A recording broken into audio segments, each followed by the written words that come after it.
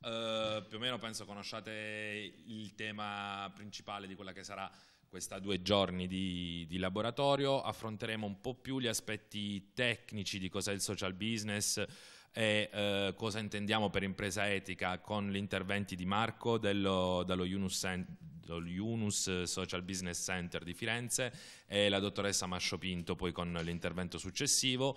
Per entrare poi più nel dettaglio di esperienze concrete domani con eh, la presenza di Mariancona e Dodd Marinai e nel pomeriggio andare a guardare un po' più quello che è il contesto di riferimento, di riferimento dell'associazione, ossia i Balcani, quindi andando a scoprire quale potrebbe essere un possibile contesto per dare avvio a nuove esperienze di, di social business. Um, penso che possiamo dare la parola a, a, Marco che nonostante tutto il disagio si è reso disponibile con portare avanti la presentazione su Skype, quindi vi chiedo solo un po' di, di pazienza al fatto che lui non sia qui in carne ed ossa, però le, credo riusciremo più o meno a, a, seguirlo. Quindi Marco, quando vuoi puoi, puoi cominciare.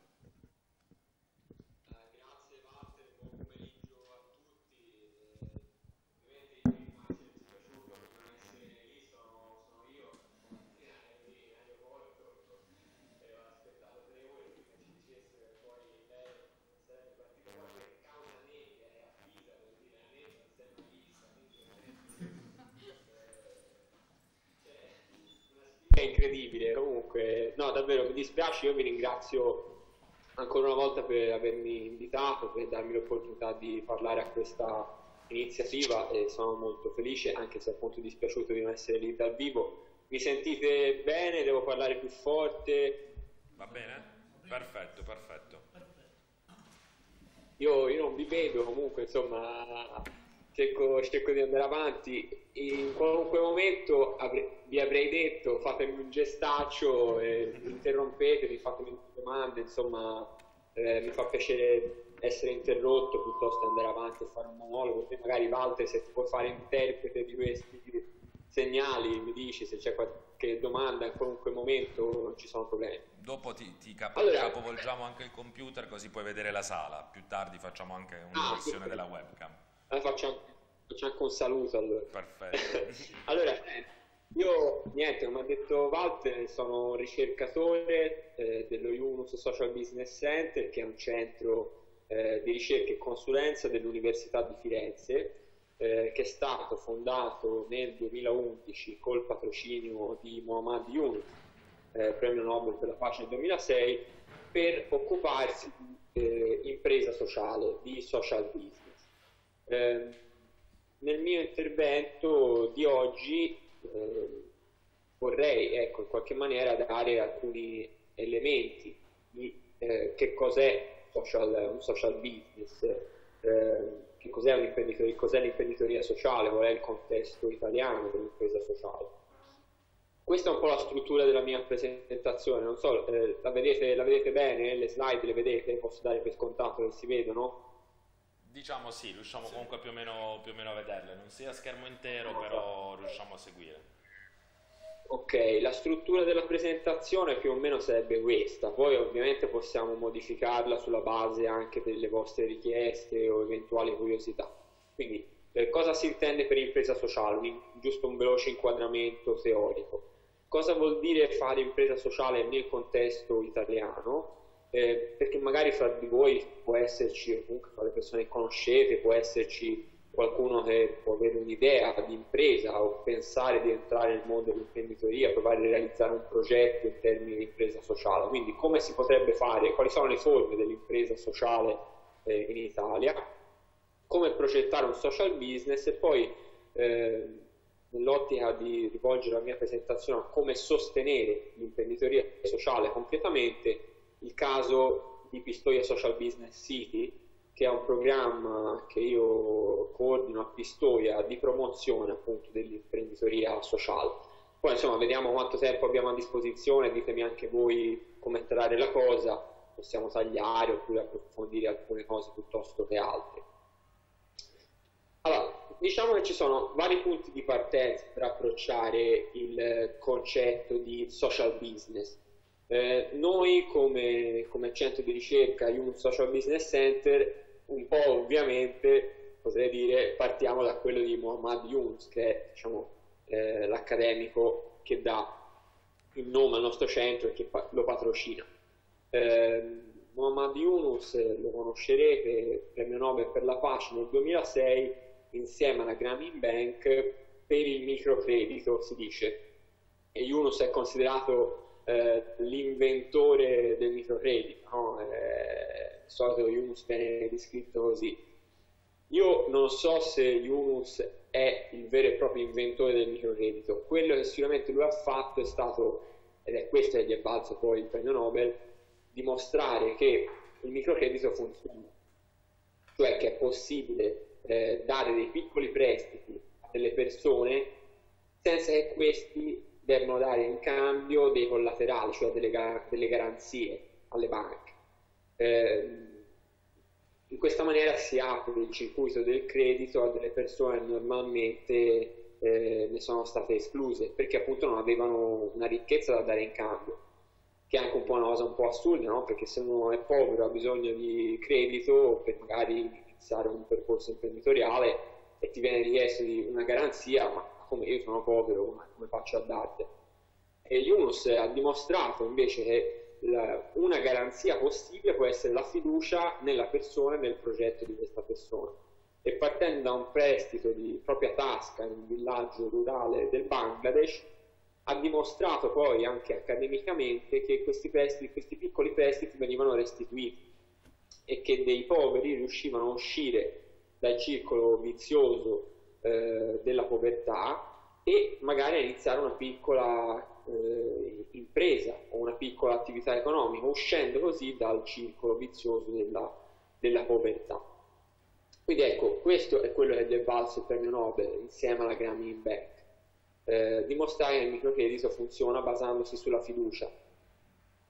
La Grameen Bank oggi è una banca grandissima, ha 2500 filiali in giro per il mondo, di cui una anche a New York e dal 76 ha avuto 7 milioni di beneficiari. Eh, nella mia presentazione di oggi non parlerò diffusamente di microcredito, eh, magari la dottoressa Mascio Pinto, magari dopo avrà modo di parlarne, non so, vediamo.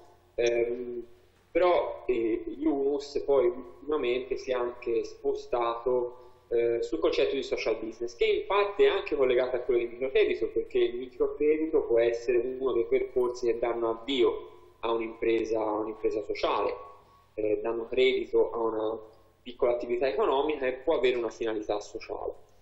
Quindi appunto, oggi parliamo di social business. Cosa si intende per social business e quali sono le origini di questo, di questo concetto, almeno per quanto riguarda il punto di vista di Yunus, ovviamente, vi stiamo parlando. Poi ce ne sono anche altri, li vedremo dopo magari nello scenario italiano. Per quanto riguarda l'idea di Yunus, eh, l'origine eh, di questo concetto si ha tra gli anni 80 e 90.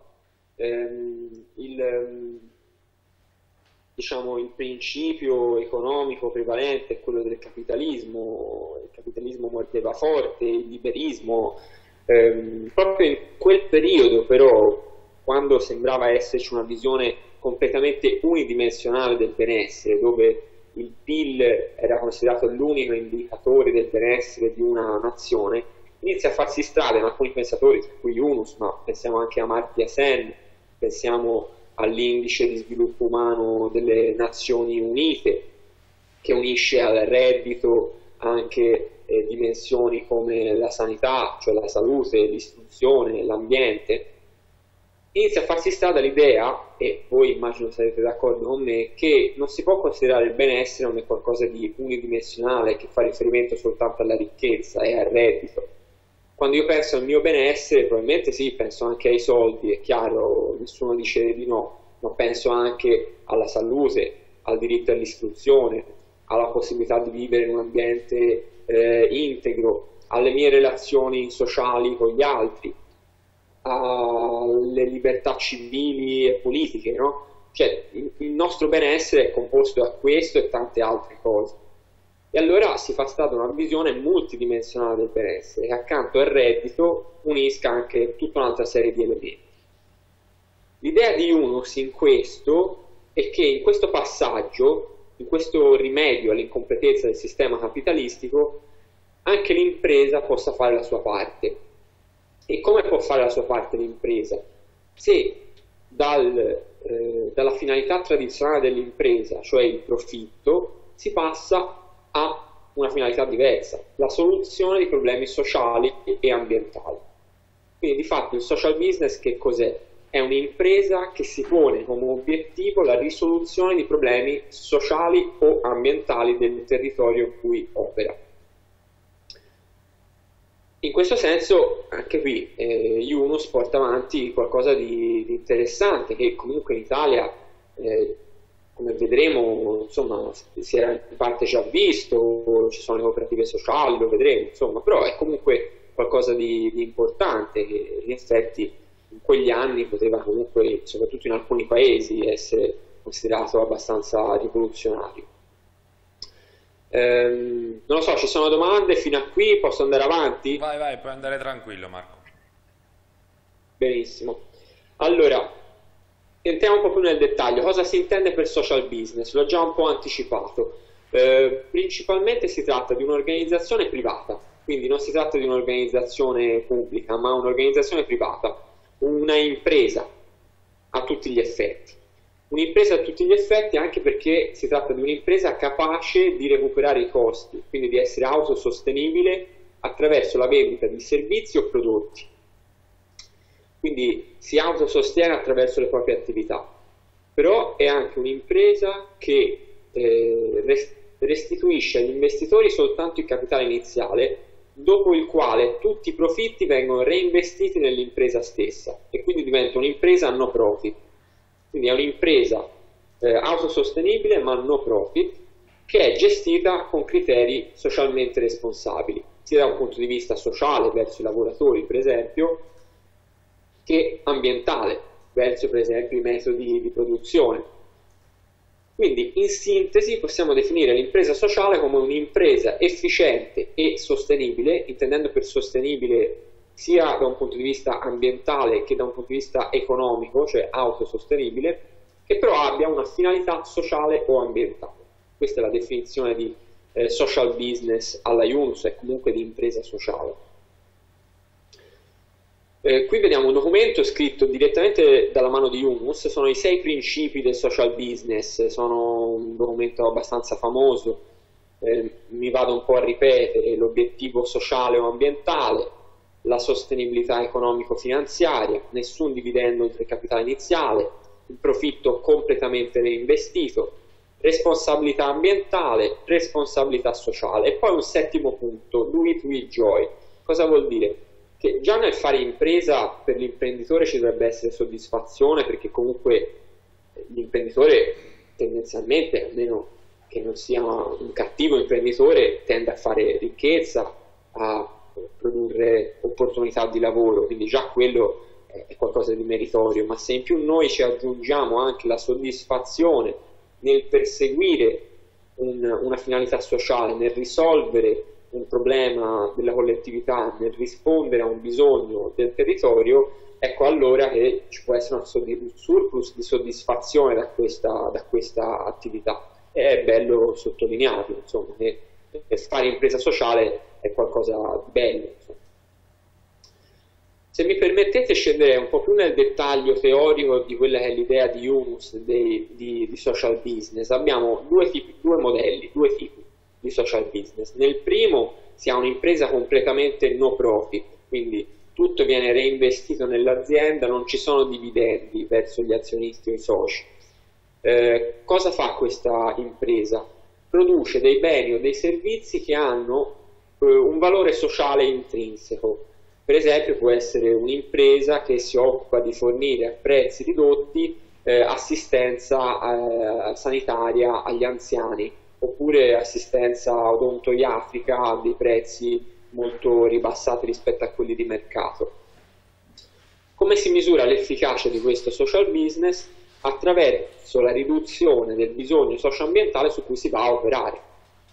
Quindi, per esempio, il bisogno di assistenza di anziani che normalmente non se la potrebbero permettere. Ehm, invece, il tipo 2 di social business è un'impresa un po' diversa che sembra contraddire quello che si è detto finora, ma in realtà non lo fa.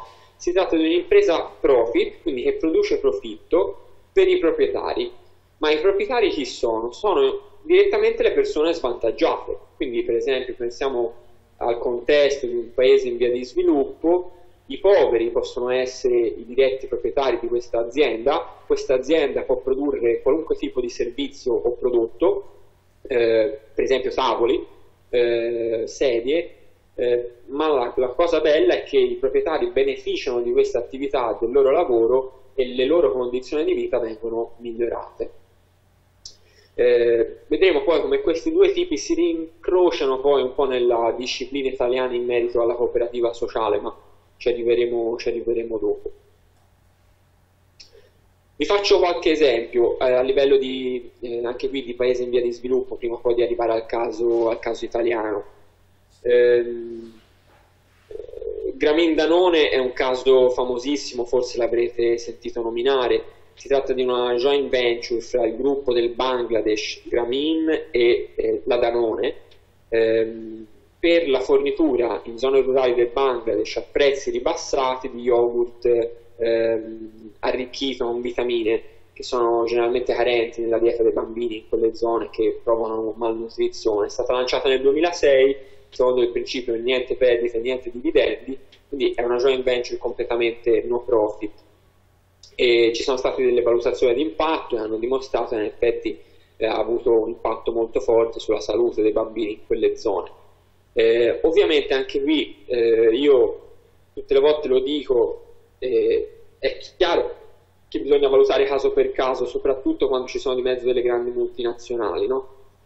in questo caso per esempio la Danone, perché c'è sempre il rischio che qualcuna di queste grandi imprese prenda un po' l'opportunità di eh, lavarsi la coscienza attraverso un piccolo progetto, piccolo nel senso marginale rispetto a tutto il resto delle loro attività per lavarsi un po' la coscienza, quindi bisogna ragionare caso per caso. Questo caso io lo porto perché comunque ci sono questi studi che dimostrano che in effetti è stata un'iniziativa genuina che ha portato de- degli impatti eh, molto forti sulla popolazione locale, però è vero che bisogna poi eh, valutare caso per caso perché insomma si sa bene in tutti i vari casi di greenwashing in cui grandi multinazionali e poi durante l'operato di tutti i giorni si comportano in una maniera, però poi all'attenzione del pubblico portano magari il singolo piccolo progetto eh, sociale. E insomma nel nostro settore, io mi occupo di impresa sociale, terzo settore, insomma questo è chiaramente un problema che è bene sempre tenere presente e bisogna farsi un'idea obiettiva eh, ognuno di noi caso per caso. Grameen Shakti, sempre in Bangladesh, è sempre un esempio di tipo, di tipo 1, ehm, è un'impresa che è nata per installare pannelli solari nelle zone rurali, eh, dove solitamente manca la corrente, non c'è energia elettrica. E questo cosa vuol dire? Che d'inverno, quando c'è poca luce, il sole va giù alle 5 o alle 4, eh, chiaramente se ti devi studiare o accendi una candela oppure smetti e rimandi il giorno dopo, così per il resto delle altre attività. E allora eh, è una, questa è nata per diffondere l'uso di energie alternative, fra cui anche il biogas, nelle zone rurali del Bangladesh che hanno da una parte il problema della mancanza di energia e dall'altra il problema dell'inquinamento eh, ambientale. Anche qui si tratta di un esempio di tipo 1 perché come nel caso precedente eh, si vende un prodotto che ha un valore eh, sociale o ambientale di per sé, intrinseco. La Grameen Bank stessa, che conoscerete, ehm, e che è quella che ha vinto il premio Nobel insieme a Yunus, si può configurare come un esempio di eh, social business. Di tipo 1 perché da una parte fornisce un servizio che è quello di far accedere al credito persone che normalmente ne sarebbero escluse, di permettere loro di iniziare un'attività eh, economica.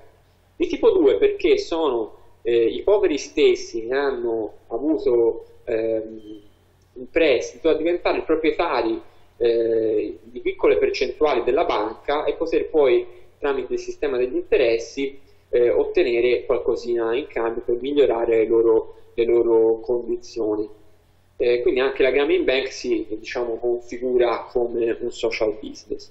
Eh, ecco, questa è un po' la panoramica di quello che Yunus ci ha dato come teoria a livello di social business internazionale. Poi a me da questo punto in poi piace invece parlare del nostro contesto, del contesto italiano. Eh, magari non so se ci sono delle domande su questa prima parte. Mm, penso di no, puoi proseguire, oh. puoi proseguire. Benissimo.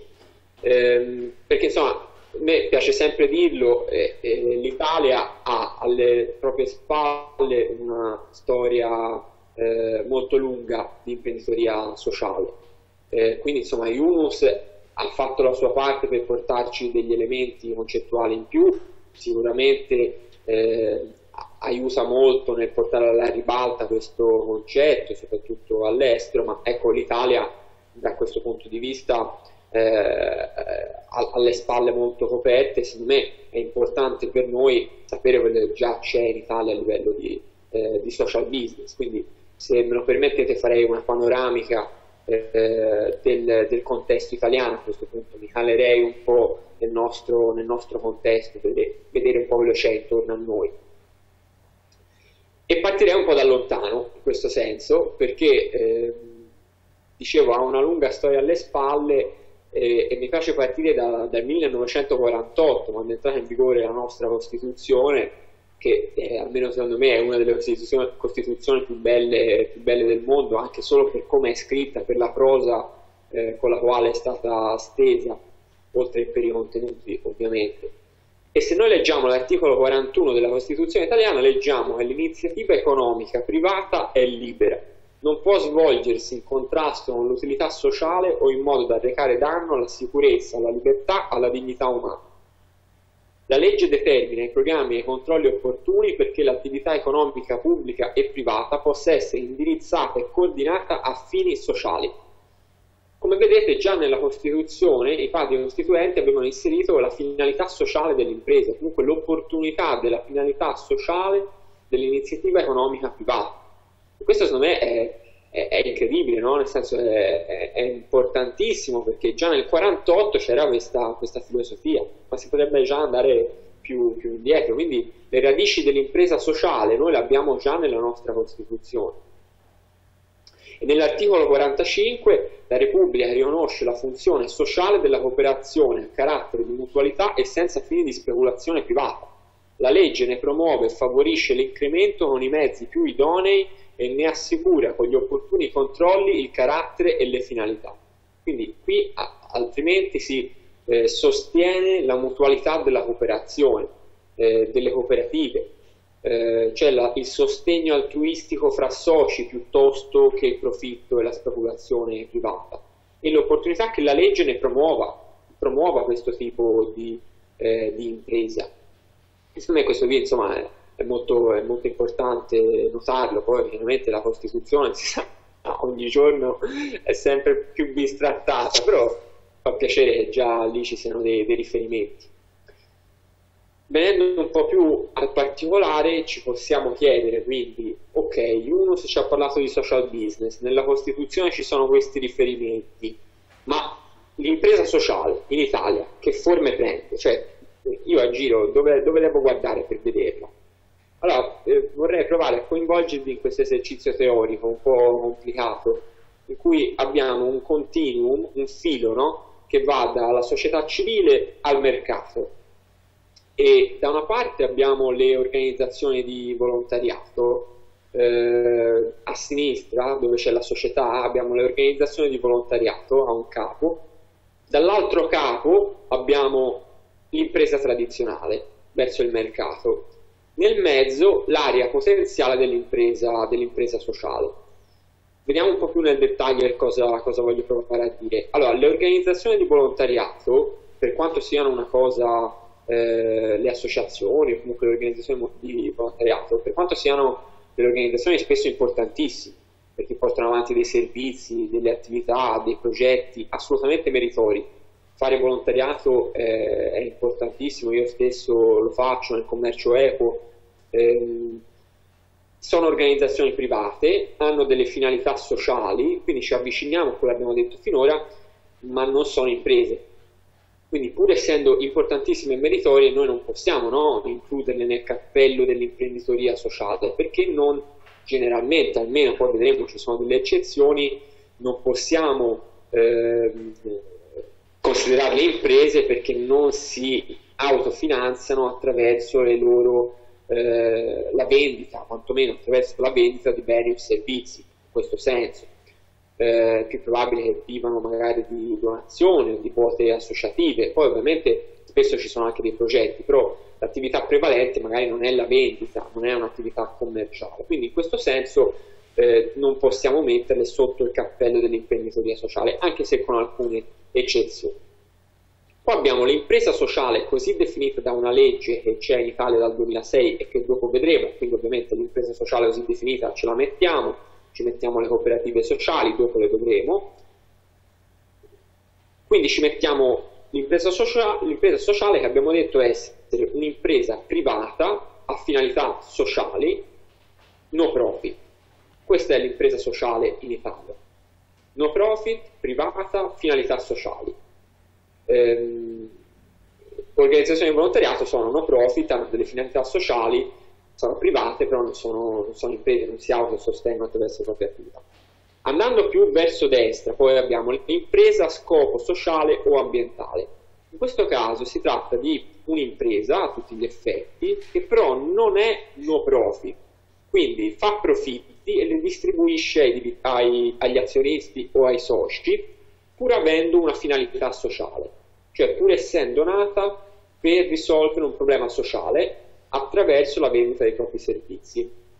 Qui il dibattito è aperto, ognuno di voi poi mi può dire, mi può dire la propria, io se volete vi dico, vi dico la mia, se il vincolo del no profit è fondamentale oppure no. Io per quanto mi riguarda, se posso essere sincero, sono dell'idea che il vincolo del no profit sia abbastanza importante, sono un sostenitore delle cooperative, delle cooperative sociali e penso che remunerare eh, il lavoro piuttosto che il capitale sia, sia, importante, abbia un valore di per sé, no? chiaramente si può pagare le persone, si devono pagare in maniera equa, è bello però sapere che il profitto prodotto da un'azienda che quindi produce profitto e che quindi è in salute, va bene? però che questo profitto viene reinvestito nell'impresa stessa no? per allargarla, magari pagare più persone, avere più personale, portare avanti più servizi, aumenta, aumentare lo spettro delle finalità sociali che questa si pone. Quindi ecco, da questo punto di vista io sono d'accordo sul vincolo del, del, no profit, anche se qualcuno potrà dire è vero, però così almeno si incentiva degli imprenditori a entrare in questo campo e comunque la finalità sociale è mantenuta. È vero, infatti il, dib- il dibattito è aperto in questo senso. Spostandoci ancora di più verso il mercato, abbiamo l'impresa socialmente responsabile che non è no profit, quindi fa profitti, anche questa, e non ha nemmeno una finalità sociale, ma è gestita in maniera responsabile, cioè non produce un bene o un servizio o un valore sociale. Anche qui si può produrre tavoli, sedie, computer, però nel farlo io eh, decido di adottare tutta una serie di criteri, sia produttivi da un punto di vista ambientale, sia di politica del personale, eh, sia magari impiegando persone svantaggiate, sia verso i fornitori che verso i clienti, una, una carta etica. Anche qui il dibattito è aperto. La chiamiamo impresa sociale questa oppure no? E qui ognuno si fa la propria idea. L'area potenziale dell'impresa sociale è questa, dall'impresa sociale all'impresa socialmente responsabile. Chiaro è che quella è, forse ci, ci, sembra più integra di tutte queste, è l'impresa no profit con finalità sociale, gestita in maniera responsabile, insomma l'impresa mette insieme un po' tutte le, le cose etiche di questo discorso, no?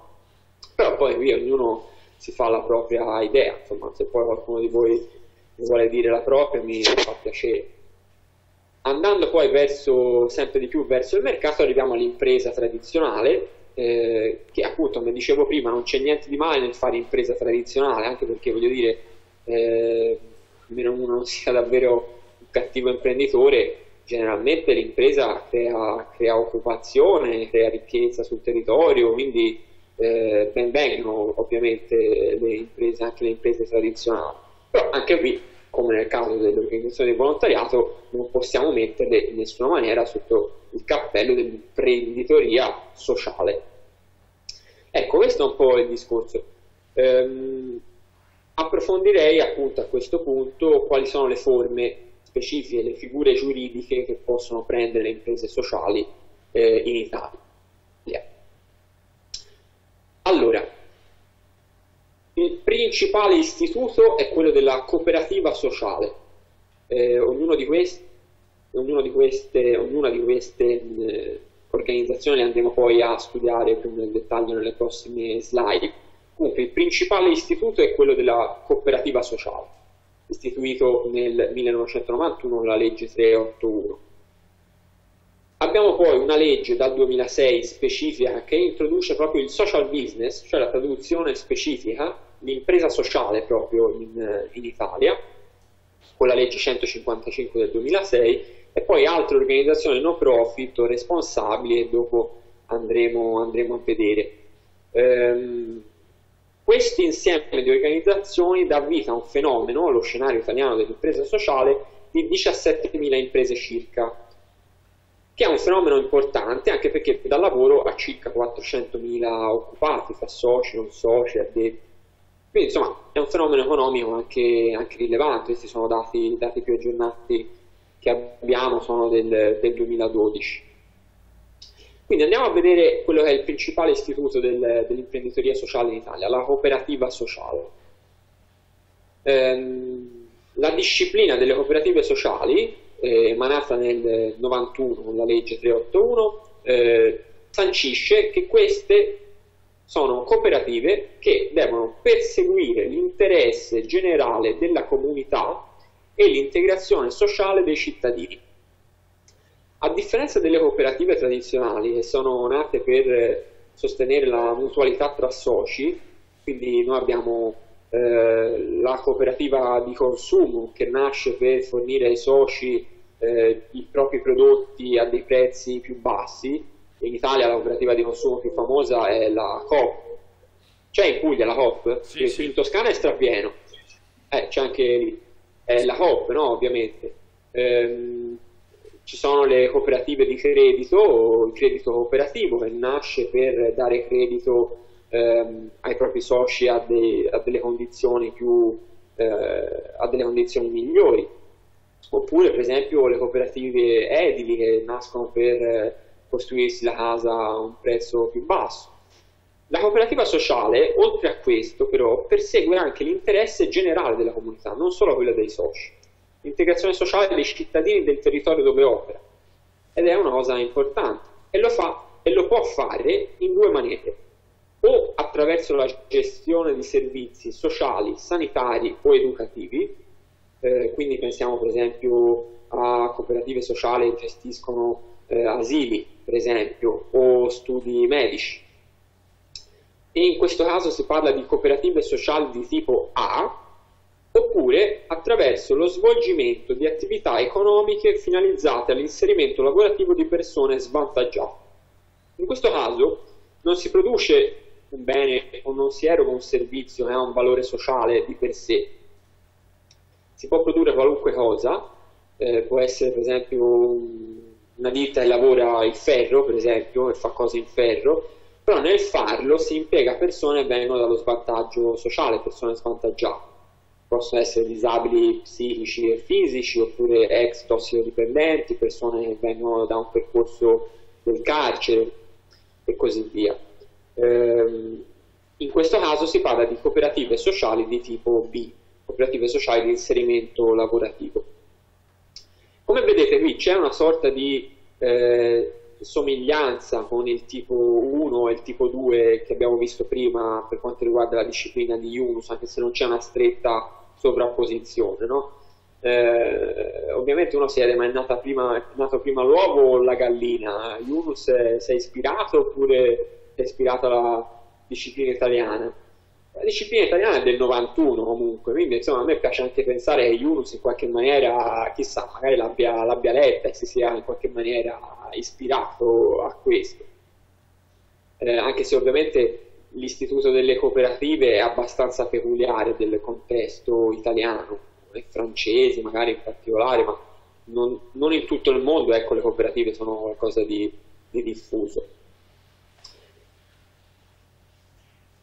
Cooperative sociali, qualche altro dettaglio, sono organizzazioni senza scopo di lucro, quindi sono organizzazioni di no profit e sono onlus di diritto, quindi sono organizzazioni non lucrative di utilità sociale. Eh, possono disporre, a differenza delle altre cooperative, di soci volontari. E questo è importante, c'è proprio un libro dei soci volontari e i volontari possono prestare il loro impegno gratuitamente, proprio perché alle cooperative sociali si riconosce questa funzione sociale verso la collettività, capito? Nelle cooperative eh, tradizionali, invece, essendosi, essendo comunque rivolte, come dire, ai loro soci in particolare, non si capisce eh, la necessità di un volontario in una cooperativa di consumo, per esempio, anche se chiaramente poi ci sarebbero dei casi particolari. Le cooperative sociali invece gli si riconosce questa funzione sociale e gli si dà diritto di avere dei soci volontari.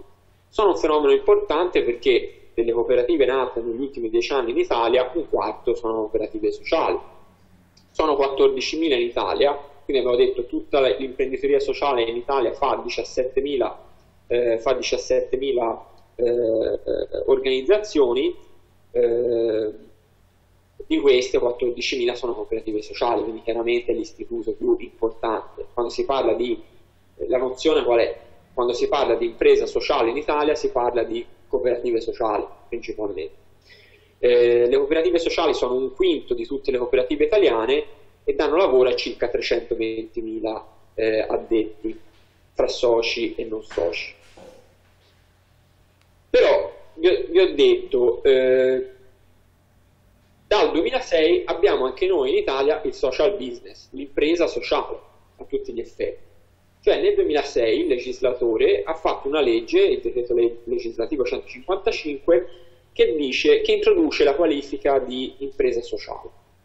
Eh, non è nu un nuovo tipo di figura giuridica, non è un nuovo tipo di organizzazione, è una qualifica di secondo livello che eh, altre organizzazioni private, solo quelle private, possono assumere se sono rispettate una serie di criteri. Quindi organizzazione del titolo primo e organizzazione del titolo quinto del codice civile, quindi fondazioni, associazioni, eh, cooperative, imprese, eh, consorzi, possono assumere la qualifica di impresa sociale eh, se sono rispettati alcuni criteri. Questi criteri sono avere un'attività economica, e già questo di per sé è un criterio perché eh, si deve avere un'attività economica commerciale, cioè bisogna, bisogna vendere dei prodotti o dei servizi, però bisogna farlo in alcuni settori eh, particolari eh, per cui si desume un obiettivo sociale che riguardi la collettività. Questi settori nella legge, questi sono scritti, eh, sono l'assistenza sociosanitaria, l'assistenza eh, educativa, la valorizzazione del patrimonio culturale, la protezione ambientale, la formazione. A grandi linee sono questi, ce ne sono anche altri un po' più specifici, specifici scusate, però questi sono i principali. Eh, quindi bisogna, avere, bisogna far sì che il 70% dei propri ricavi sia in uno di questi settori, per dimostrare di avere un obiettivo sociale e di avere un'attività economica. Al tempo stesso però questa organizzazione deve essere no profit, quindi voi capite che anche una cooperativa sociale può eh, facilmente qualificarsi come impresa sociale perché sicuramente avrà un obiettivo e un settore di attività che fa parte di quello che ho detto prima è no profit di diritto, la, eh, la cooperativa sociale, ma per esempio nel caso di un'impresa che vuole qualificarsi come impresa sociale, il vincolo del no profit è un po' più complicato. E allora io devo metterlo nello, nello statuto, devo metterci un articolo apposito. E inoltre devo pubblicare annualmente un bilancio sociale a fianco al bilancio tradizionale al bilancio tradizionale economico. Magari sul bilancio sociale mi ci soffermo un attimo perché secondo me è uno strumento particolarmente interessante. Quindi ecco, questa è un po' la legge che dice ci si può qualificare come impresa sociale. Una volta che uno si è qualificato, di fatto non cambia niente, non succede niente. Praticamente questa legge è stata fatta, però gli è mancato un pezzettino, cioè loro sono arrivati a fare questa legge probabilmente per incentivare l'imprenditoria sociale, ma, non, ma si sono dimenticati di mettere gli incentivi. Questo, e questo è un po' un problema perché in effetti io devo fare tutte queste cose per qualificarmi un'impresa sociale, ma poi non... che me ne viene? Uno, uno, dirà, eh, ho capito Marco, ma non è che te puoi fare le cose perché te sei un imprenditore sociale, te non è che fai le cose perché ti convengono. Eh, è vero, ma se io come legislatore voglio incentivare l'impresa sociale, è giusto anche dare degli incentivi, no? Se le cooperative sociali sono onlus di diritto e quindi hanno eh, degli sgravi fiscali, e secondo me è giusto che li abbiano in virtù delle loro caratteristiche, allora magari anche un'associazione, una fondazione, un'impresa che vuole andare in questa direzione, che lavora in un settore del sociale, che decide di essere no profit e pubblica un bilancio sociale, secondo me è giusto che abbia almeno gli stessi diciamo, incentivi, no? se no non si è capito perché si è fatto questa legge. E di fatto è andato proprio così, che nessuno si è qualificato, nessuno ha fatto questo percorso. Solo in 365 dal 2006 hanno messo la parola impresa sociale nella regione sociale e si sono qualificati come tali.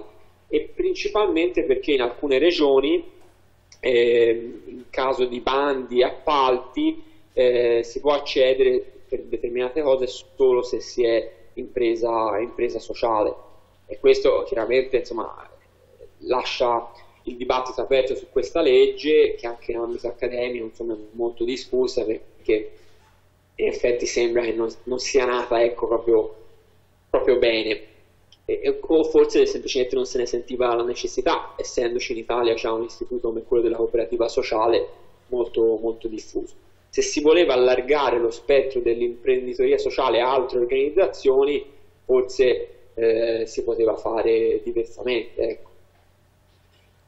Come va? Va bene? Mi, mi fermo, sì, fate sì, delle sì. domande, vado avanti, devo accorciare, datemi indicazioni. Li vedo, li vedo tutti vivi per il momento, quindi puoi, puoi procedere. Sono vivi? Sì, sì, sì, sono Vai, vivi perfetto. e seguono. Se, se, se sento al, al, primo botto mi fermo, qualcuno... mi fermo. Allora passo al bilancio sociale, mi emoziona sempre particolarmente. Ah, il bilancio sociale, non so, probabilmente ne avete sentito parlare, eh, è uno strumento di accountability. Eh, non mi piacciono troppo gli inglesismi, però in questo caso rende bene perché unisce la parola accounting, quindi rendicontazione, alla parola responsibility, cioè responsabilità. Il bilancio sociale è una rendicontazione delle responsabilità che ha l'impresa o l'organizzazione o l'ente verso i propri portatori di interesse, quindi i propri lavoratori, i propri soci, i propri fornitori, i propri clienti, eh, i propri consumatori, insomma, e così via, verso tutti i portatori di interesse. È una rendicontazione dei comportamenti che l'impresa ha, dei risultati sia economici ma anche sociali e ambientali, che di solito questa rendicontazione nel bilancio tradizionale manca.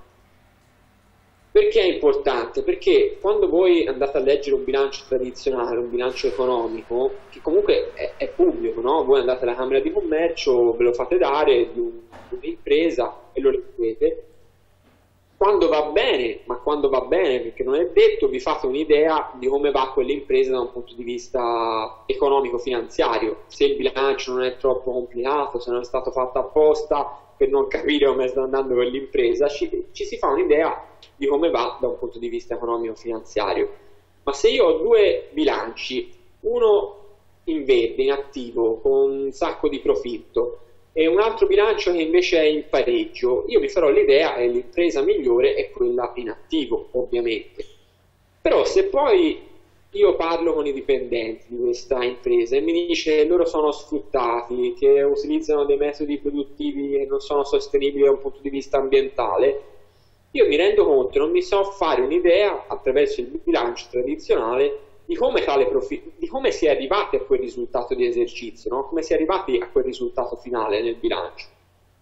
Mentre se io poi parlo con i dipendenti dell'altra impresa, quella in pareggio, loro mi diranno, è vero, sì, noi siamo andati in pareggio, però eh, qui ci si trova bene, l'ambiente di lavoro è fantastico, i colleghi sono tutte persone eh, gentili, i nostri capi ci coinvolgono nelle decisioni, abbiamo i pannelli solari sul tetto, facciamo una riunione tutte le settimane per decidere eh, l'andamento dell'azienda, abbiamo dei benefit, nel senso che abbiamo la mensa gratuita, no? Cioè tutte queste cose qui che in parte si possono anche desumere forse dal bilancio, ma difficilmente. Allora quale sarà l'impresa che io preferisco? Mi manca le informazioni per decidere, no? Ecco, il bilancio sociale su questo ci può dare qualche informazione in più.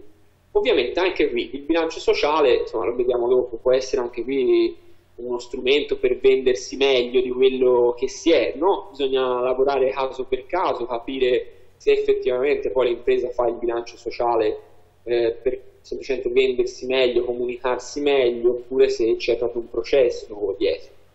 È comunque uno strumento volontario, a parte per le fondazioni bancarie che devono fare per forza un bilancio di missione, per le imprese sociali che devono, come si è visto prima, pubblicare un bilancio sociale e in alcune regioni per le cooperative sociali. Ehm, come è fatto un bilancio sociale?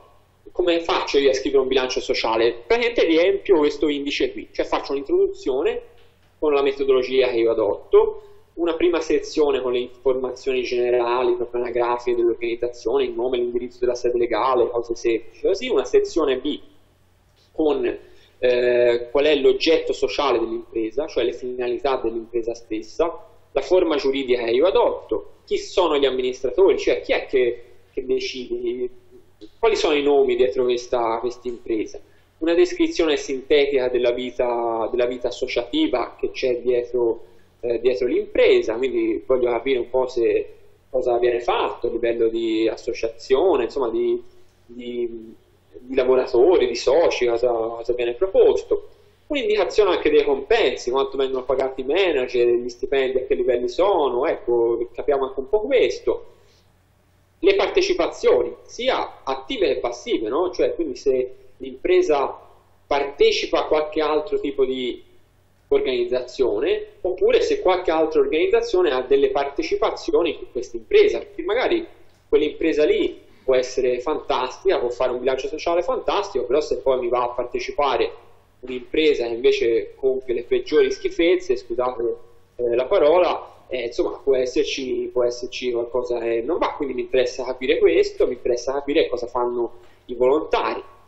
E poi le finalità sociali.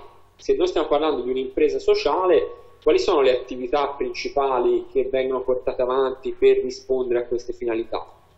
Quali sono i risultati che finora hai portato a casa, fammi una valutazione ecco, di, di, questi risultati, fammi capire se davvero si sta lavorando per quelli e un impatto anche di queste, di queste attività su questi, su questi, risultati.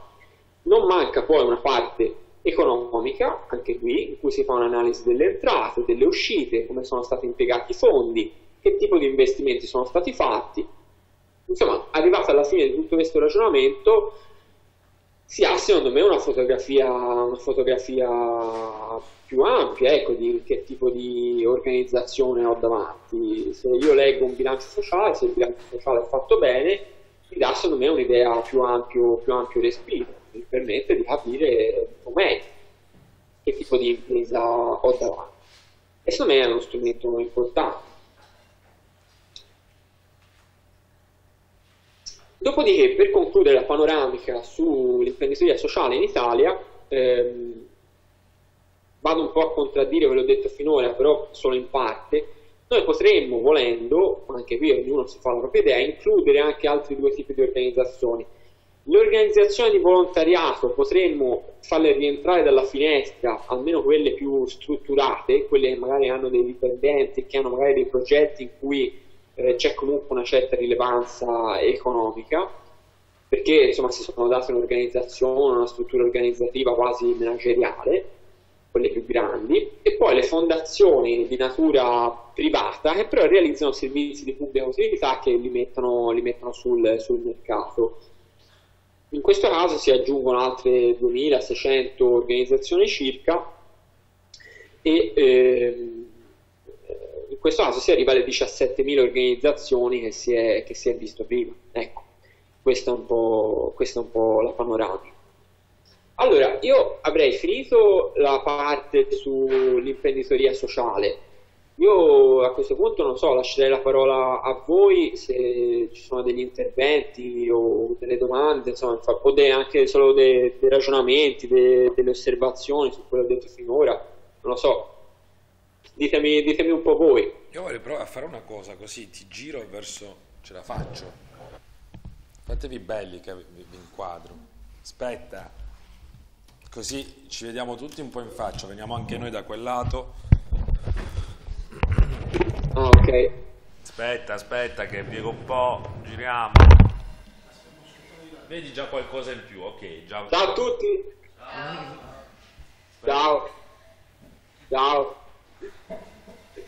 Ci sono domande? Dai, dite qualcosa a voi, via, se no mi si sta seccando la bocca. Vai, ti, ti arriva. Ciao. Ciao, la definizione tra imprese sociali in Italia e social business secondo la definizione di Yunus. Cioè se ci sono le differenze se ci, che ci sono, Sì. come... Prego. Vai, vai. Se ci sono delle differenze, Sì, di definizione comunque c'è l'idea di impresa sociale che è stata realizzata in Italia rispetto magari all'idea che ha avuto Yunus, per esempio. In cosa si differiscono? Sì, allora, sì, sì, sì. Eh, allora, hai visto, in Italia il principale istituto è quello della- delle cooperative sociali. Eh, quindi le cooperative sociali di fatto eh, sono no profit, come nel tipo 1 Marco, di, scusami se ti interrompo. Sì. Eh, se puoi togliere Sì. la presentazione, magari ti vediamo in faccia, insomma, è più bello della presentazione sicuramente. Ah, certo, dai, sì, hai ragione. Aspetta. eh. Ecco, mi vedete? Ciao. eh, lo so, sono, sono brutto, però è la presentazione.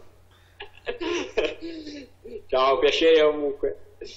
No, dicevo, allora, ehm, in Italia il principale istituto è quello delle cooperative sociali, quindi ehm, il tipo A di cooperativa sociale in particolare è no profit, come tutte le cooperative sociali, e come nel tipo 1 eh, alla Yunus, quindi si eroga un servizio sociale o ambientale. Eh, il tipo B di cooperativa sociale, in cui si produce un bene o un servizio che può essere qualunque tipo di bene o servizio, eh, è anche quello no profit, un po' a differenza del tipo 1 di Yunus che era ehm, profit, in quel caso perché i proprietari erano i soci stessi dei beneficiari, de- delle persone svantaggiate, ehm, però si utilizzano delle persone svantaggiate, quindi in questo caso si dà lavoro, opportunità di lavoro a delle persone che normalmente avrebbero delle difficoltà a trovare, a trovare lavoro, a trovare un'opportunità.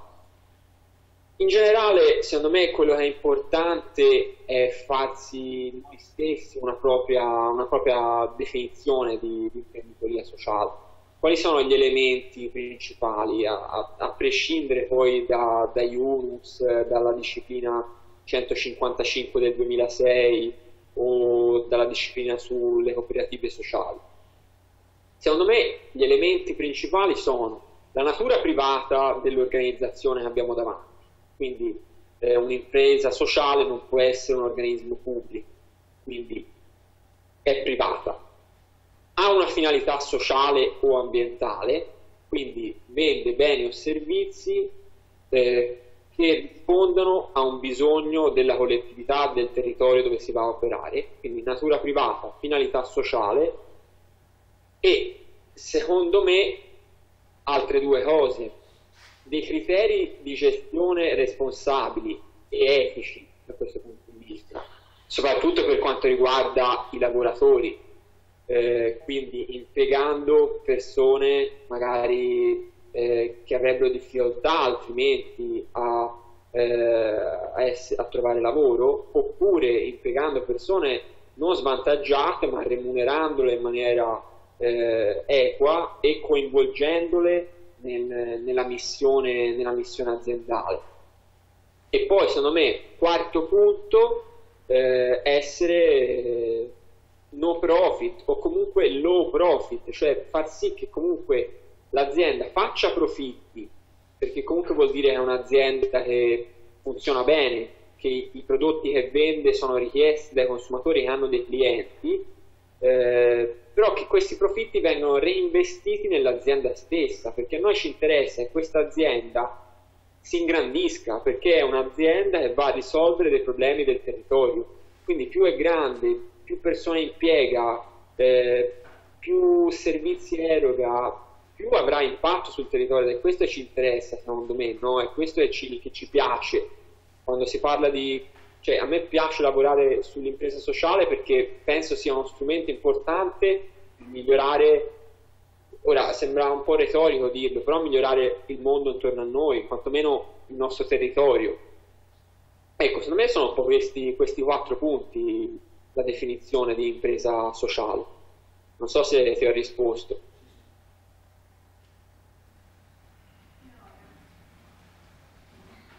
Sicuramente quello che ho fatto è vedere ho delle occhiaie tremende, incredibili, proprio delle cose cioè drammatiche, mi sto vedendo. Ah, sì. Io ce l'ho messa tutta per raggiungervi, ve lo giuro. Va bene lo stesso.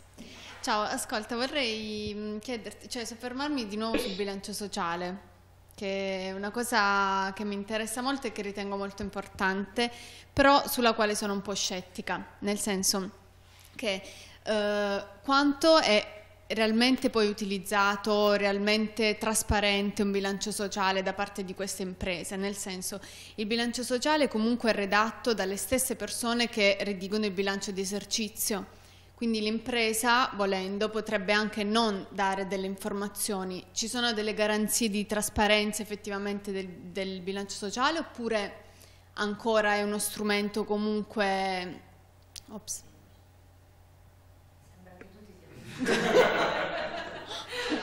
Non dovevo dirlo.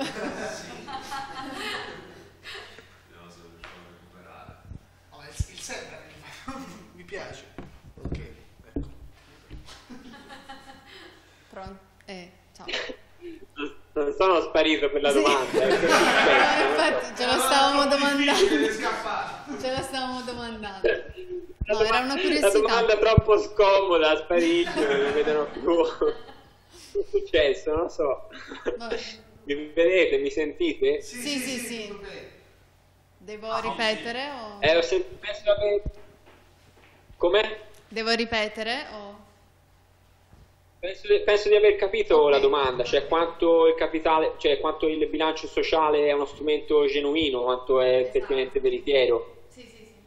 e quanto invece può essere utilizzato un po' a fini diversi. Esatto. Eh no, infatti è quello che vi accennavo anche prima secondo me questa è una domanda giustissima, cioè è un'osservazione importantissima, eh, nel senso che bisogna stare attenti e valutare caso per caso. Eh, è un punto secondo me insomma, che anche a me prende, prende molto e insomma, infatti lo faccio notare anche quando faccio una presentazione perché perché sì, perché è pieno di esempi negativi da questo punto di vista, no? Cioè, è chiaro che oggigiorno fortunatamente le preferenze dei consumatori si stanno orientando sempre di più verso imprese eh, sociali, verso imprese etiche.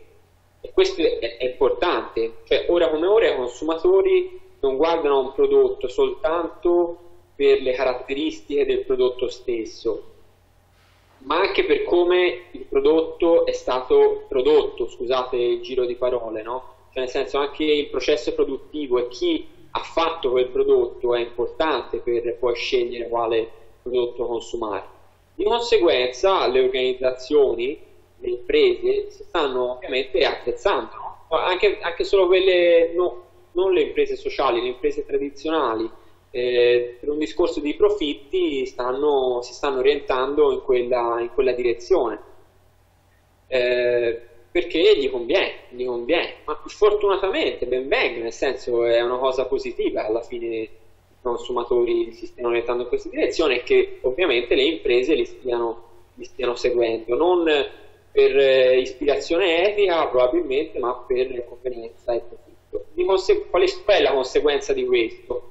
Che da una parte ci saranno eh, ci sarà sempre più confusione fra quelle organizzazioni che eh, durante la loro attività si comportano in una maniera magari che noi reputiamo negativa, che però nell'1% dei casi portano avanti un bollino, un prodotto o un bilancio sociale di comunicazione che mettono davanti a tutto il resto, si fanno belle con quello e tutti e sperano che tutto il resto dei loro prodotti vada dietro no? e la reputazione venga, venga migliorata.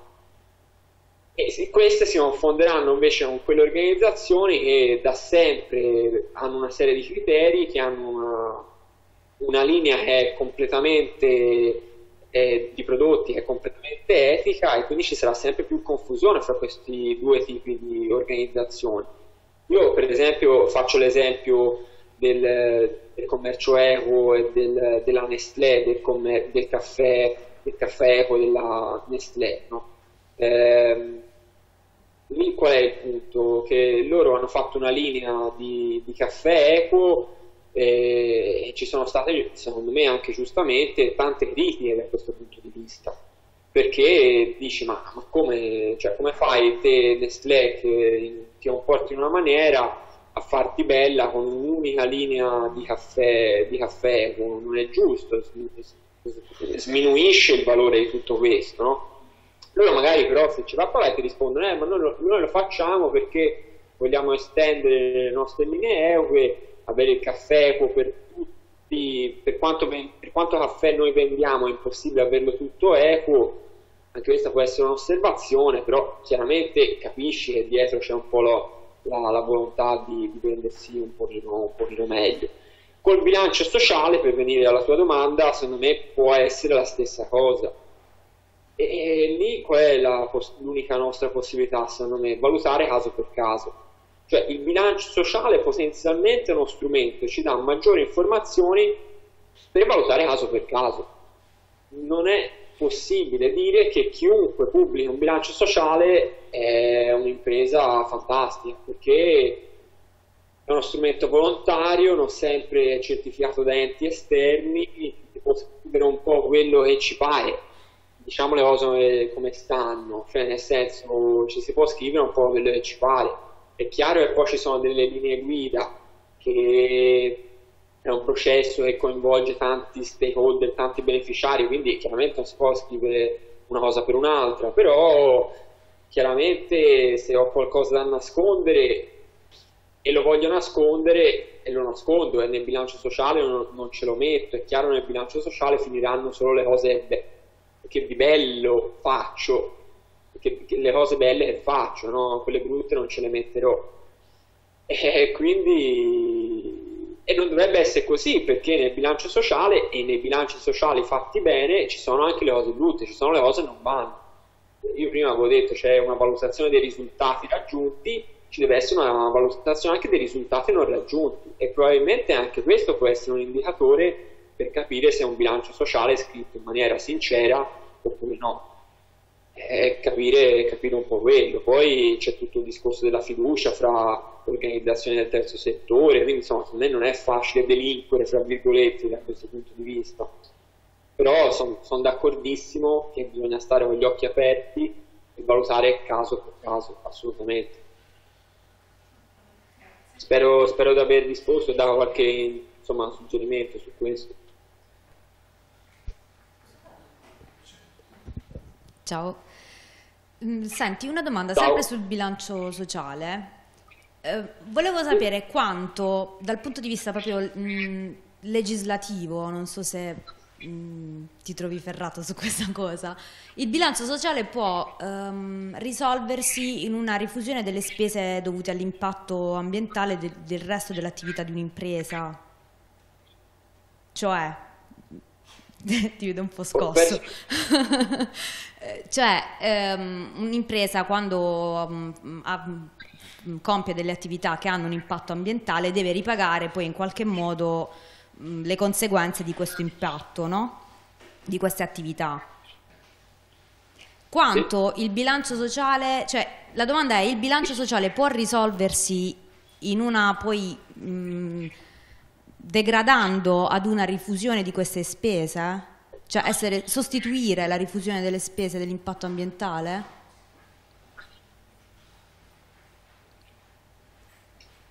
Cioè, te diciamo, stai chiedendo se il bilancio sociale può risolversi solo in questo? Sì, cioè se eh, il fatto che un'azienda utilizzi lo strumento del, del, del, bilancio, del, bilancio, sociale possa poi esonerarla dal, dal fare queste cose, cioè se viene vista quasi come un uh, ti ripago in questo modo perché, anche, perché perseguo anche queste finalità sociali.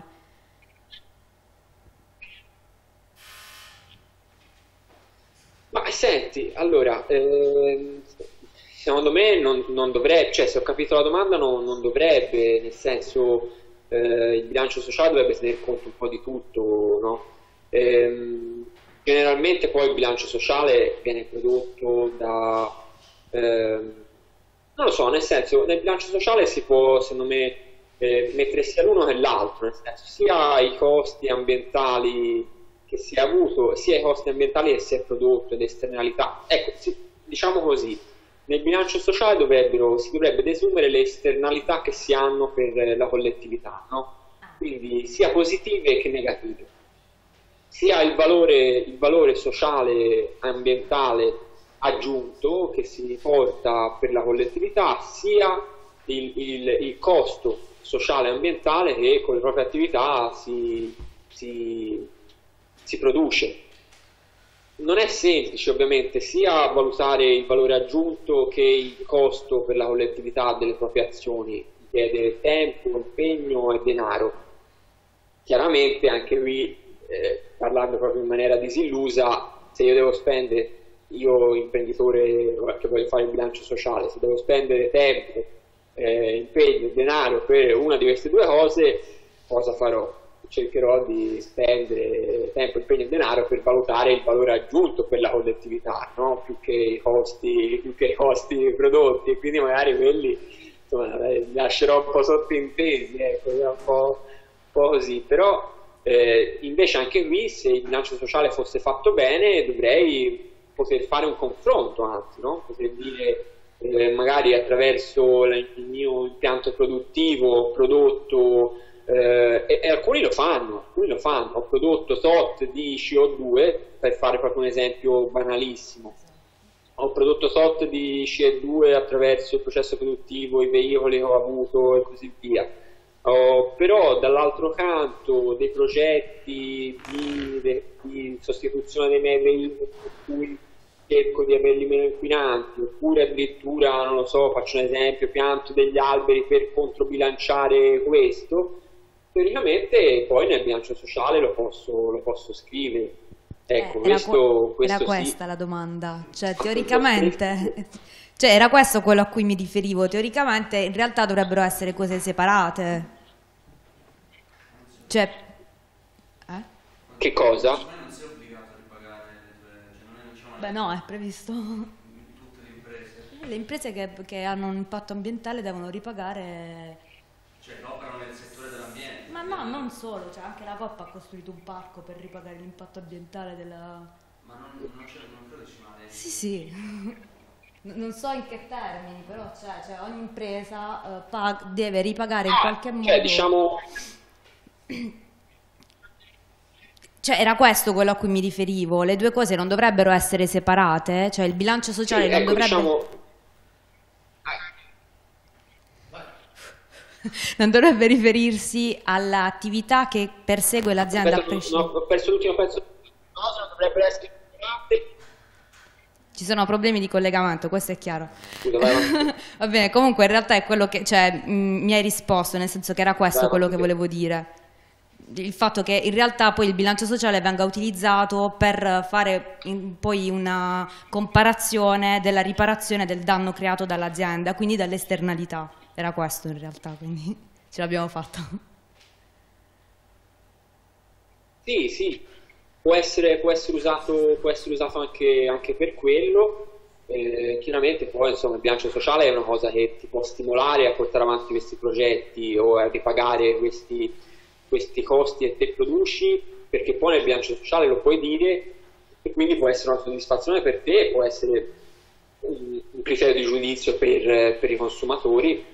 Poi ovviamente il bilancio sociale o no, speriamo che le imprese lo facciano, voglio dire, minimizzino i costi ambientali e massimizzino il valore per l'ambiente, ecco, è un po' questo che l'impresa sociale dovrebbe fare, no? come criterio di gestione ridurre l'impatto, come finalità sociale aumentare l'impatto. Ecco, se possiamo riassumere forse, forse questo. Eh, Marco, alla fine, visto che nessuno si è addormentato, ci sono tutti belli svegli nonostante l'orario. Eh, nel frattempo è arrivata la dottoressa Masciopinto che ti, ti saluta a distanza, poi ti seguirà nell'intervento. Direi, se vuoi, possiamo andare verso la parte finale, un po' illustrandoci quelle che sono le, le vostre attività. Ah, oh no, c'è una domanda di Michele, un attimo, un attimo ancora. Sì, certo. Ciao Marco. Eh, no, una su una serie in realtà di stimoli ed, interve- ed interventi che mi ha suscitato, cioè che mi ha suscitato il tuo intervento, di considerazioni più che altro. Una era mh, strettamente tecnica, eh, cioè non, non mi è stato molto chiaro, insomma, almeno a me, eh, dalle slide che hai presentato, se nel bilancio sociale è, eh, è compreso anche il bilancio diciamo, di esercizio finanziario. Perché tu dicevi c'era una parte in cui si fa anche un'analisi finanziaria insomma, dell'azienda. Per cui sostanzialmente diciamo, sono eh, mutuabili diciamo, le, due, le due cose, eh, o no? Cioè, questa è la domanda proprio di tipo tecnico.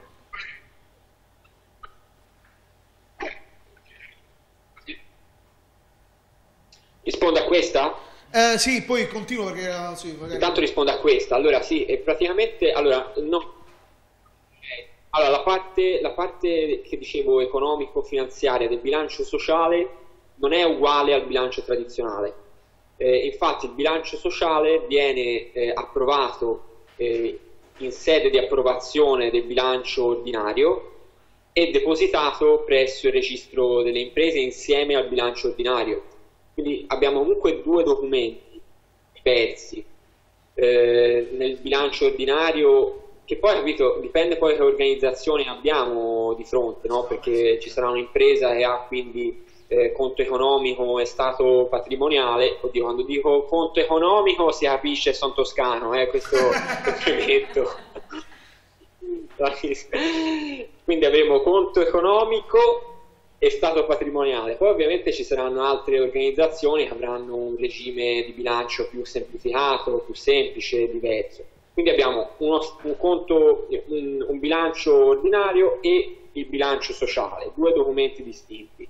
Eh, perché quello ordinario ovviamente è molto approfondito, ci sono tutte le varie voci di bilancio. In quello, la parte economica di quello sociale, invece, è più che altro uno studio, un approfondimento, ma se vogliamo anche quasi eh, qualitativo più che quantitativo, eh, di quello che significano quei numeri in quelle voci di bilancio, quindi entrate, uscite, oneri, eh, fondi, investimenti, cioè io desidero attraverso quella parte lì avere che l'organizzazione mi parli in qualche maniera, no? mi, invece mi dia dei numeri, mi dica proprio che cosa ha fatto da quel punto di vista, cioè quei fondi, quei soldi lì da dove vengono, come l'ha presi, come l'ha fatti, le uscite, a cosa sono servite, gli investimenti, io ho fatto un investimento di tot soldi in quello, ma perché l'ho fatto? Cioè nel senso, capito? È, è più un approfondimento in quel senso, più uno studio qualitativo. Poi ci sono i numeri anche lì, e più si va approfonditi meglio è e c'è spesso anche una eh, riqualificazione del conto economico in termini proprio di valore aggiunto quindi cerco di capire cerco di togliere i, conti, i costi esterni e, far sì che i conti i costi scusate i costi, i costi interni si sommino ai ricavi no? quindi per esempio quanto io pago un dipendente un lavoratore per l'impresa è un costo però è bello sapere che per la collettività quello è un valore, no? Cioè nel senso l'impresa ha un costo nel pagare quella persona, ma per la collettività quello è un valore, perché io creo ricchezza per il territorio, cioè do dei soldi alla collettività, no? pago una persona, quindi per l'impresa è un costo, nel bilancio tradizionale quelli sono costi, quindi più io, eh, più io ho dipendenti e più l'impresa va in rosso, se vogliamo proprio parlare in maniera ultra sim- semplificata, però al tempo stesso è anche bello che d'altro canto nel bilancio sociale quei costi lì invece appaiano come un valore aggiunto e quindi c'è anche una riclassificazione in termini di valore aggiunto si dice. Quindi sono comunque due documenti separati. Ok, grazie. Uh, no, l'altra riflessione è che insomma sono un po' collegate in realtà tra loro, erano due spunti che mi sono venuti in contesti diversi del tuo intervento. Uh, uno era, era legato insomma, al, al riconoscimento che i consumatori hanno di questi prodotti. Uh, perché ti faccio questa domanda? Cioè, tu hai detto che effettivamente su alcune uh, tipologie di mercato effettivamente diciamo, l'interesse dei consumatori si sta spingendo verso prodotti che hanno degli attributi di tipo, diciamo, chiamiamoli etici, insomma, mettiamoli così. Uh, questo però in realtà è un po' quello che insomma, io personalmente non ho riscontrato per esempio per i prodotti agricoli. cioè io spiego, sono agronomo e mi sono laureato insomma, in economia agraria, mi sono occupato di agricoltura sociale per esempio. Uh, che è un altro, secondo me, diciamo, delle grosse potenzialità diciamo, per, dell'agricoltura, soprattutto per il carattere mutualistico insomma, che ha. Uh, però uh, la difficoltà era proprio legata a questo, cioè che sono prodotti di larghissimo consumo e di conseguenza prezzi uh, relativamente molto bassi e in cui ancora molto l'incidenza insomma, del, del, lavoro e quindi della manodopera per la realizzazione di questi prodotti, per cui costituiscono effettivamente cioè, un impiego di soggetti svantaggiati uh, nei lavori agricoli spesso riduce notevolmente diciamo, la capacità produttiva dell'azienda che deve essere in qualche modo sicuramente diciamo, ricompensata, in qualche modo quantomeno compensata rispetto all'azienda tradizionale. Uh, ed è difficile che questo diciamo, venga riconosciuto sul mercato, insomma, almeno per queste tipologie di prodotti, uh, per, quello che, per, quello che, ne so io, insomma, sostanzialmente. Uh, e quindi ti chiedevo insomma, se, se, voi nel vostro lavoro avete provato a esplorare insomma, canali e modi insomma, perché questo venga eh, di diffusione insomma, di questa, cioè, di, ricon- di, maggior riconoscimento diciamo, della possibilità eh, di riconoscere maggiormente insomma, questo valore etico insomma, dei prodotti d'agricoltura sociale, da imprese sociali e via dicendo. Insomma.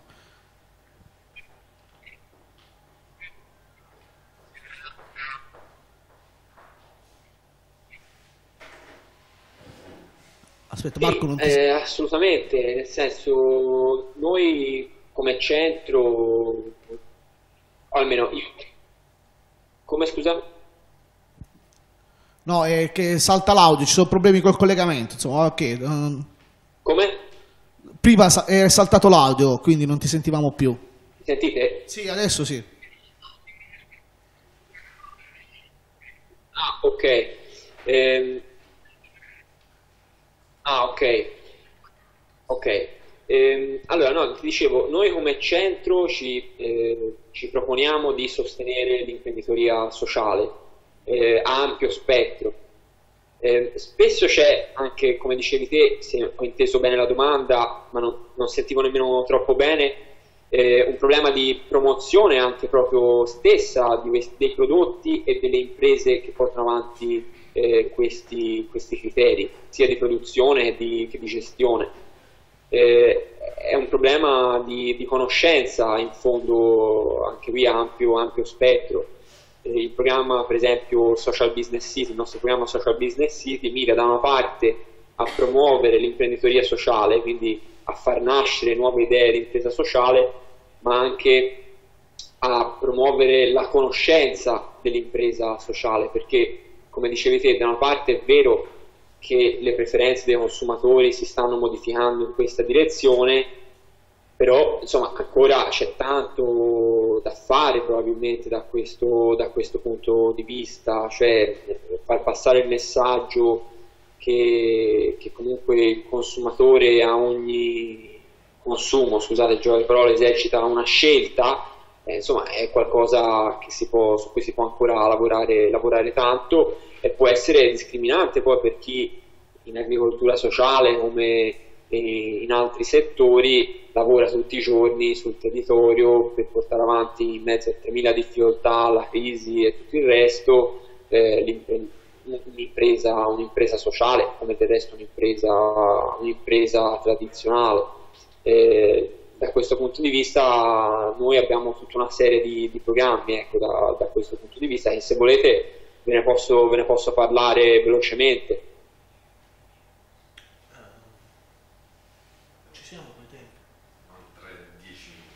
Uh, vabbè, senti, no, io avevo solo un'ultima curiosità. Se invece, siamo, se siamo stretti, se invece siamo stretti, come preferite, lascio a voi ovviamente.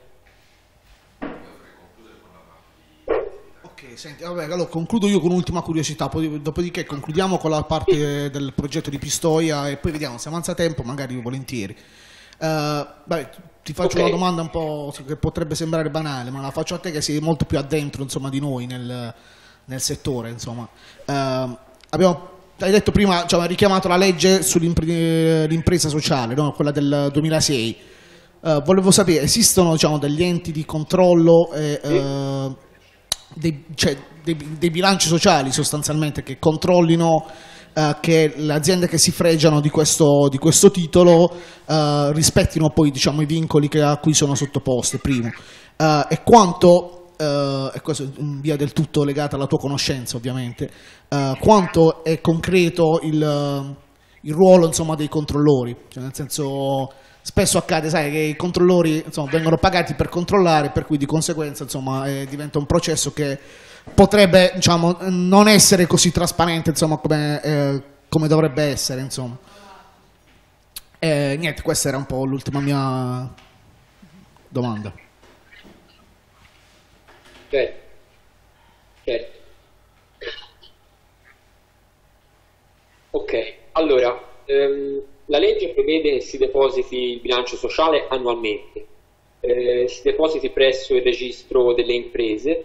Eh, una volta depositato, in realtà l'unico controllo che viene eh, effettuato eh, quando si richiede l'iscrizione e quindi richiede poi il rinnovo al registro apposito delle imprese sociali eh, presso il registro delle imprese della Camera di Commercio è che eh, il 70% dei ricavi sia, ehm, si sia avuto in uno di quei settori previsti dalla legge. Quindi non riguarda nemmeno più tanto il bilancio, il bilancio sociale. Si prevede quindi che il bilancio sociale sia scritto secondo le linee guida del Ministero del Lavoro, eh, che sono più o meno quelle che vi ho indicato io nella, nella slide, ovviamente ogni sezione è poi approfondita con delle sottosezioni, io vi ho citato quelli che saranno i passaggi più importanti per dare un'idea, però bisogna pubblicare il bilancio sociale secondo quelle linee guida, quindi bisogna riempire tutte quelle parti lì e pubblicarlo annualmente. Dopodiché viene fatto il controllo in base alla legge, ma più che del bilancio sociale dell'organizzazione che fa domanda, quindi no profit, 70% dei ricavi è principalmente questo, e pubblicazione del bilancio sociale. Quindi non c'è un vero e proprio controllore, cioè non si mettono lì a controllare quello che è scritto nel bilancio sociale, eh, perché di fatto nasce uno strumento volontario.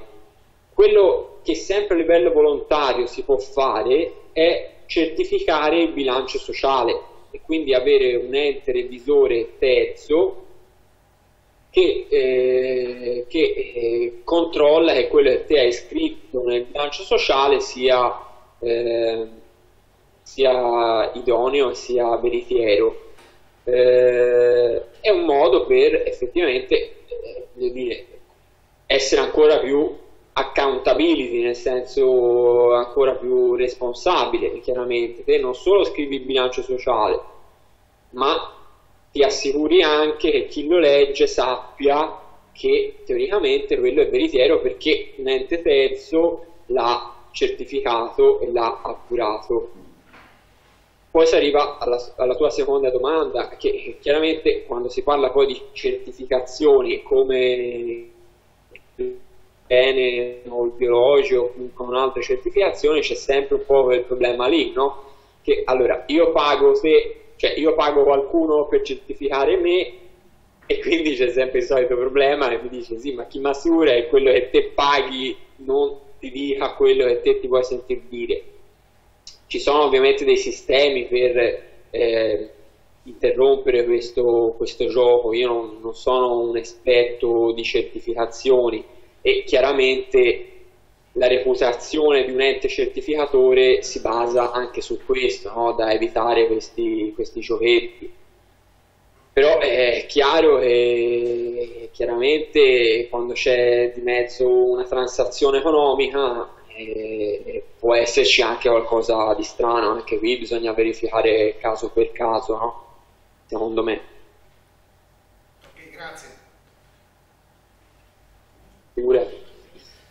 Allora mi prendo magari, non lo so, 5 minuti per parlare di Pistoia Social sì. Business City, se c'è tempo. Sì, sì, sì, sì, certo.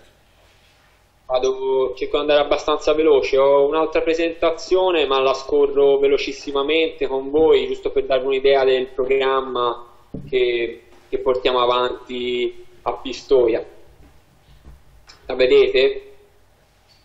Aspetta. Sì, sì, sì. sì. Perfetto. E, in pratica questo è un programma che noi abbiamo inaugurato eh, a luglio 2012, questa è una presentazione che ho fatto a metà, diciamo, qualche, quindi qualche mese fa. Eh, questo è il logo del programma. Noi come centro appunto abbiamo inaugurato questo programma che nasce per la promozione dell'impresa sociale a ampio spettro sul territorio della provincia di Pistoia.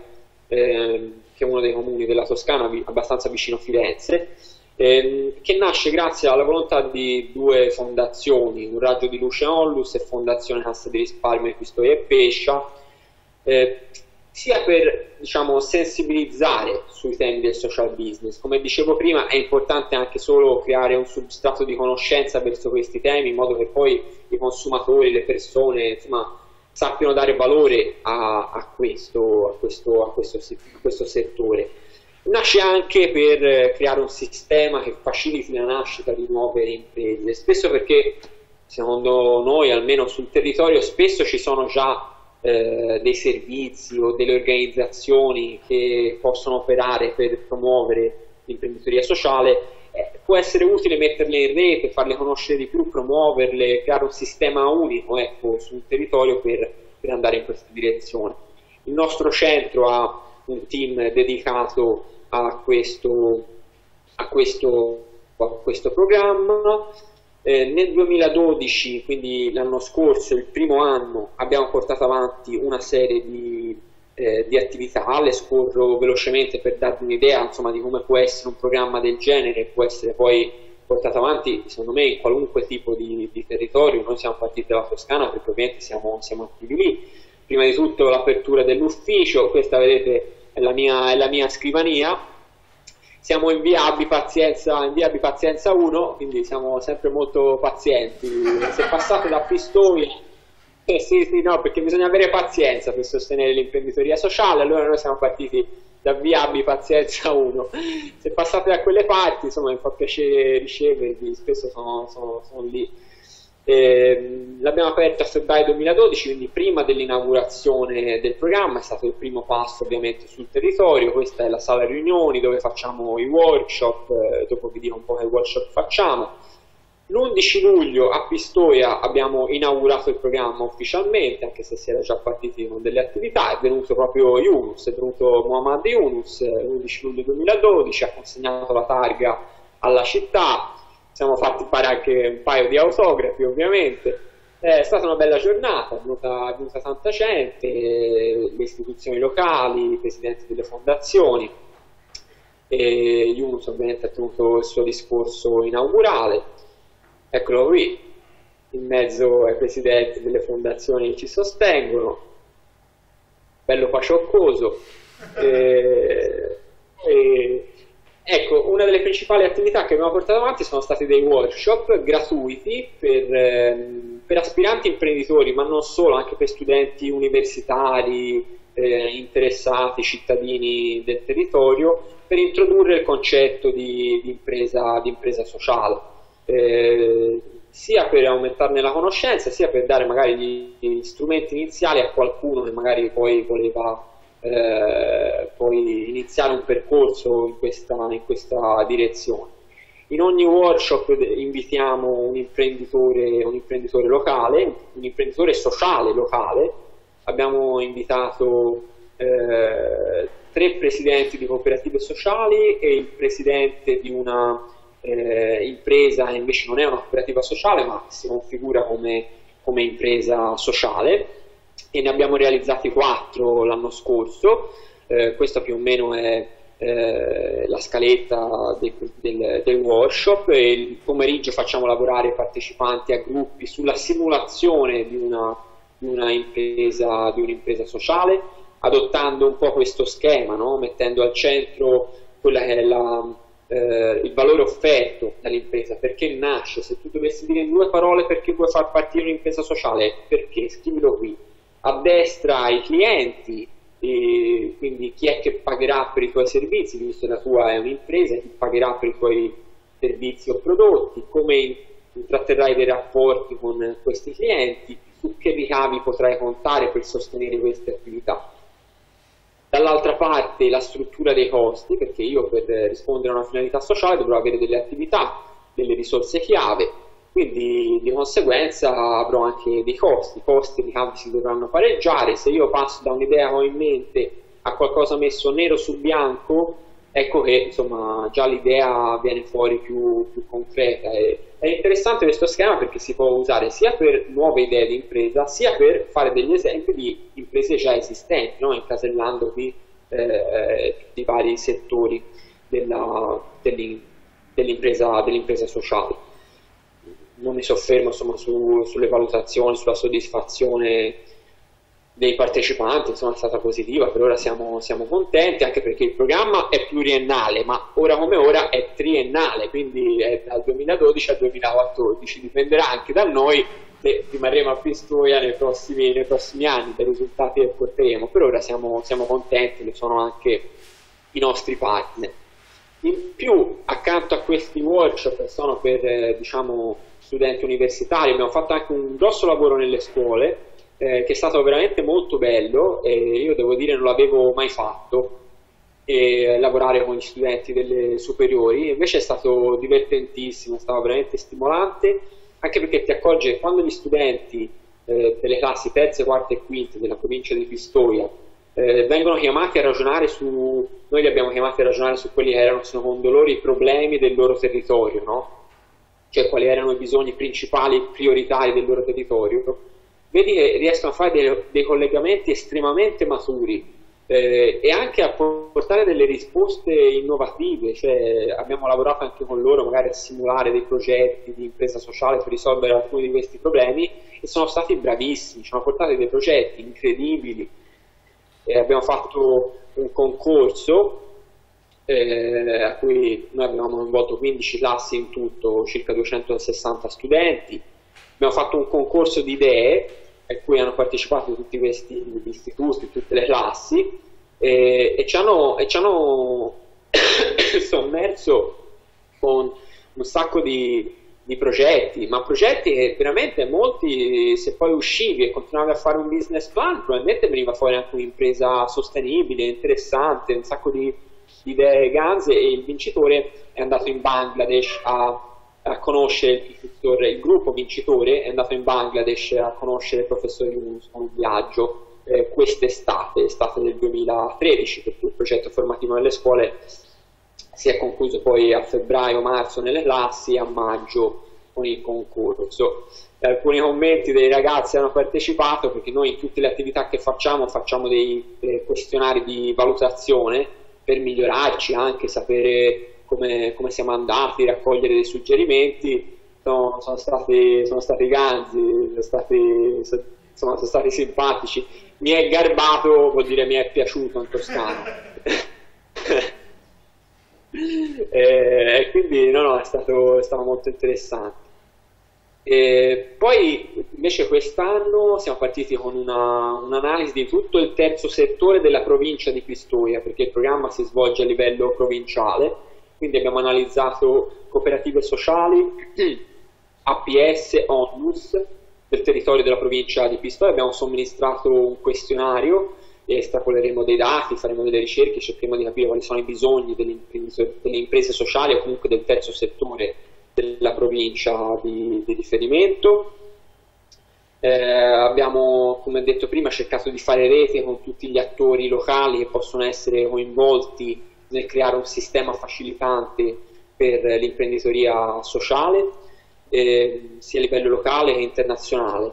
Eh, poi nel 2013, queste sono tutte attività che abbiamo già portato avanti praticamente, eh, quindi lo studio sul terzo settore della provincia di Pistoia lo stiamo chiudendo proprio in questa settimana.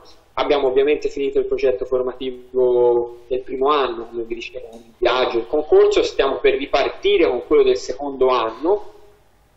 Continueremo a fare workshop sul social business in questi due ultimi mesi. Del 2013, faremo un seminario per amministratori locali abbiamo pubblicato gli atti dell'inaugurazione, quella con, con e ora, proprio il 5 ottobre, abbiamo fatto un evento che vuole diventare annuale di punto della situazione su tutto quello che di sociale, di impresa sociale c'è eh, in provincia di Pistoia, a cui tra l'altro ha partecipato anche Flaviano Zandonai. Ehm, eh, è stato un evento importante perché appunto la mattina c'erano eh, dei seminari, il pomeriggio dei seminari tematici, eh, tutta una parte espositiva con, imprendi- con, imprenditori sociali, insomma è stato anche lì a livello organizzativo per noi lavoriamo a programma piuttosto, eh, piuttosto impegnativo e, insomma magari chissà l'anno prossimo magari vi, vi invitiamo e magari lo sa, ma insomma conto di vedervi dal vivo ben prima. E, io qui ovviamente è quello su cui, lavoro, su cui lavoro tutti i giorni, quindi ovviamente se poi mi lascia andare è finita, potrei approfondire ogni attività tantissimo, però insomma non voglio nemmeno rubare spazio agli altri relatori, quindi eh, penso di aver esaurito il tempo a mia disposizione, ditemi, ditemi voi. Sì, direi che Possiamo, possiamo, anche concludere, io eh, ripeto anche perché è arrivato dopo, purtroppo Marco oggi non è Carlossa con noi perché la nebbia ce l'ha, ce l'ha tenuto a terra e stesso problema poi ha avuto Flaviano che do, avrebbe dovuto tenere l'ultimo intervento di oggi.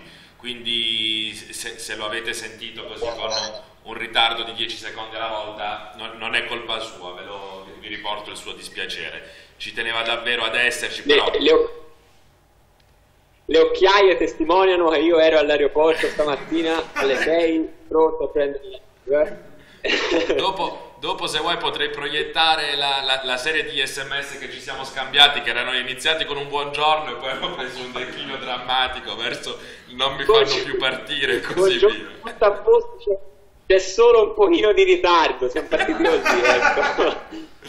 va bene Marco se vuoi eh, noi proviamo non si vediva niente ok Dicevo, se vuoi ti, ti, ti, teniamo comunque, come si dice, ti teniamo connesso qualora tu voglia sentire l'intervento della dottoressa Masciopinto o comunque portiamo il computer da questo lato, ti, tenia, ti, riaccendiamo tra una decina di minuti o comunque se, se hai impegni per dopo noi comunque ti ringraziamo davvero tanto per la disponibilità, speriamo di rivederci in carne e ossa quanto prima. E ripeto, nonostante anche la nebbia virtuale che ti ha ritardato di qualche secondo sei stato sei stato perfetto, quindi grazie. Grazie ragazzi, no, no grazie a voi, anzi, è stato un piacere mio, mi dispiace, mi dispiace, davvero tantissimo non essere lì di persona, ma poi è assurdo, dai, sia dovuto tornare a casa dall'aeroporto, veramente fuori dal normale, era, era, fatta praticamente, però vabbè dai, spero anche di conoscervi di persona il prima possibile e, e finché mi è possibile rimango connesso, almeno sento l'intervento della, della dottoressa e sicuramente mi interessa e poi insomma vediamo come va la connessione, insomma io intanto vi saluto e vi ringrazio ancora e davvero grazie. Grazie a te, grazie, grazie a, te. a te. Ciao. Ok. Ciao. Eh... Ciao.